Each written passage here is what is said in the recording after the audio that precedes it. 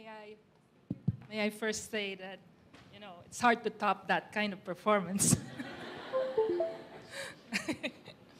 uh, good afternoon. Um, perhaps most of us here would, ha- would know of a relative, say a brother or a sister or a cousin or a niece or a nephew, who is the science geek.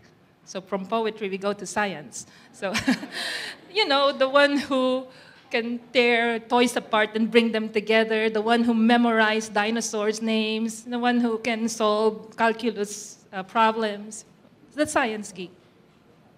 Also, around this time, some schools uh, will soon have graduation rites, and high school students and their parents are thinking of college and are preparing for college, taking exams in different universities. Here's a suggestion if they are so inclined, why not encourage our cousins, relatives, brother, sister, uh, nephew, niece, or even the parents, most of all, who will pay the tuition, to pursue a degree or a career in science? You know, become a biologist, a chemist, a mathematician.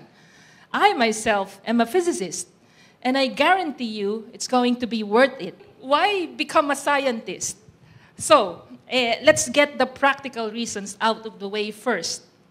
So, most of the parents will say, okay ba ang sweldo dyan? Well, I, well, because of salary standardization 4, the salary is actually pretty comfortable. Okay, one practical concern of parents.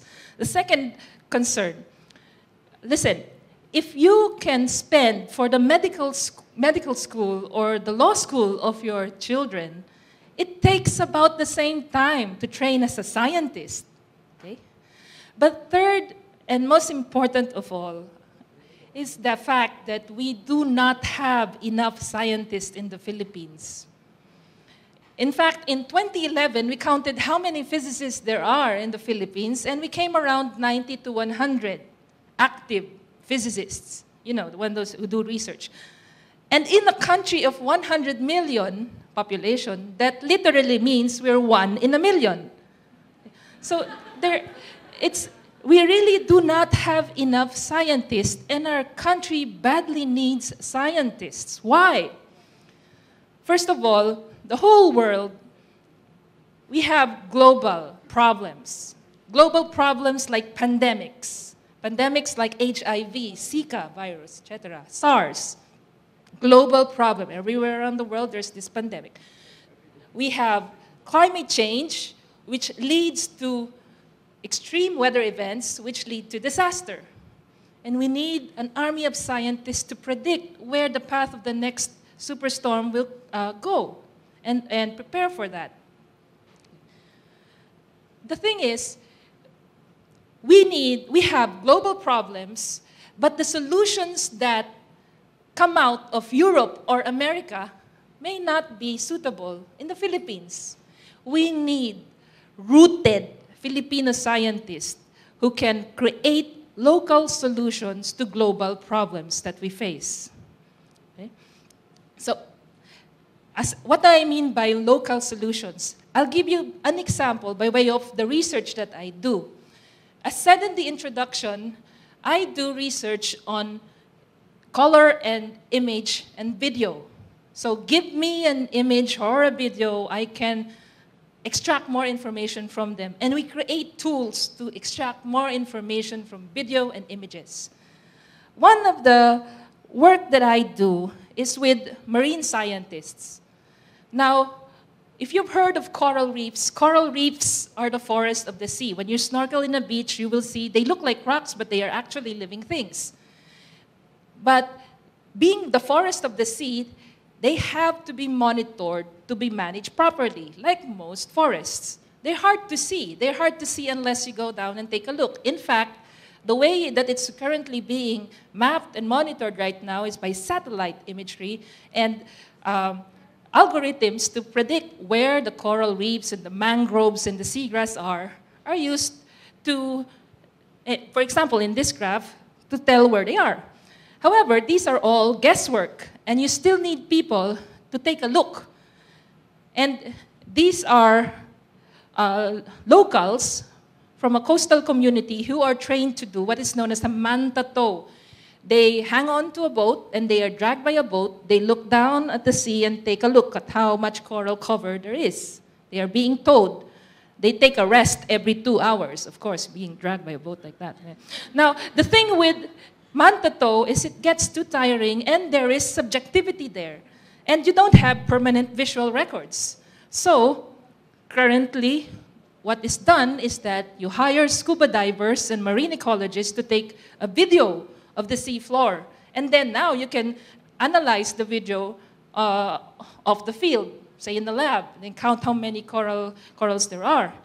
But the thing with all of these is they're labor intensive, they can be inaccurate, and they are expensive. Scuba dive gear is expensive. And in the case of grounding damage, for example, in Tubataha, what happened in Tubataha when the USS Guardian ran aground in our uh, World Heritage Site, these techniques are slow. And so we thought about solutions so that the Philippines can map its coral resources effectively, efficiently. In other, in, in other countries, they use remotely operated vehicle, ROVs. Okay? But can you imagine a third class barangay operating, buying, buying uh, uh, uh, an ROV, much less maintaining it? So we thought, we are an archipelagic country. 60% of our country is covered by sea or near the coast. And we have different bangka, different designs of bangka all around the Philippines. Why not use the bangka? And instead of getting an ROV or a robot, create a towable platform. Just put a camera there so you don't have any diver. And so this is our solution. We call it the Automated Rapid Reef Assessment System, or ARAS. And this is teardrop, that's the hardware. You can put a camera, like a GoPro inside, you can lower it beside a boat. And we also created a software for stitching video, and we nicknamed it Kiko and Stitch, after my student, Francis, who created that, uh, whose thesis this is. And so this is how it works. You, you have a GoPro inside Teardrop, and it's running video, and then you lower it beside the boat, and you tow it uh, uh, using the bangka, and then it takes videos that look like this. Okay? And these videos, what you do is you feed it into Kiko and Stitch, and it will stitch it like so, in six-second segments. And since we also have global positioning system on the boat, we can determine where the stitch was obtained. And so we can even map it in Google Earth. And now, the coastal communities would now have a, uh, an idea where the coral reefs and where the resources are and how they look. Okay, now we have a, innovation is, is currently ongoing, and so now we have a better towing platform. We nicknamed it Towpedo, and it works like this. So it, it, it slices cleanly along the water. It's very small and compact. You can carry it uh, in a knapsack, okay? And it's, it glides smoothly. So it's easier and more compact and easier to use, actually. Uh, we can create stitches with labels. We are able to estimate a uh, meter or scale bars so that uh, communities can also measure how big their coral reef colonies are. And there is site information and where they were taken and at what depth. And ecologists can label these images and then create a thematic map to tell where the resources are. So again, this is, oh, uh, you can open this in Google Earth. Um, the, we've been deploying this technology all around the Philippines. In fact, the southernmost part that we've been to is Tawi-Tawi. Yes, Tawi-Tawi. So we went there, we demonstrated teardrop. We took video in Turtle Island or Simunul. This, is, this island is called Simunul. And then we stitched and then play, uh, pasted it in Google Earth. And then anyone can click on any of these sites and find out what the resources look like on the site. And you see something like this. You can even see there's a turtle in the view. Okay. Now, how about aerial photography? Now, uso ngayon ang drones. So drones can carry cameras and can take aerial photo. But again, can you imagine a third-class barangay buying and operating and maintaining a drone? Beside, besides, if you do it in the ocean, you have salty mist, salt fog, and it can corrode the electronics of your drone. So we thought, what about just use a kite for aerial, photography? And yes, we can do that. And, and, this is not new science. This is actually being uh, uh, is going on for a while. But we showed this to the communities, and it's easy to operate. Just let the, uh, the kite go, and it can fly like this with the camera in tow, and it can uh, take pictures of shallow coral reefs. Like this is in Palawan. so now you can see large extents in uh, square meters and square kilometers. You might argue na, hey, take, wait a minute, uh, the image looks like it's uh, distorted, but this can be solved by image processing. It can be straightened out like so. And then if you put markers on the surface of the water, you can even make measurements. You can actually measure the extent of your coral resources. Now, the thing about the kite is it's like a toy. And, and when we demonstrate this to uh, the uh, coastal communities and the coastal managers, who are mostly volunteer fishermen who, who guard their protected areas, marine protected areas, they like using it and it's easy to use to them. So this is how it looks. We take a lot of action shots because what we do is we have the GoPro tied to the kite and we set the GoPro such that it can capture images every half second. So as we lower or deploy the kite, we get some selfie pictures. Okay? So this is in Zambales. And as you can see from the next picture, uh, flying a kite is easy because the young one can do that. This is the youngest marine protected area fisherman volunteer. And even the old guys like using it.